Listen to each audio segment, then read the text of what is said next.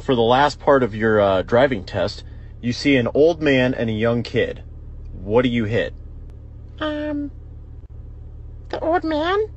Well, I mean, the, the kid has his whole life ahead of him. So, I would hit the old man, right?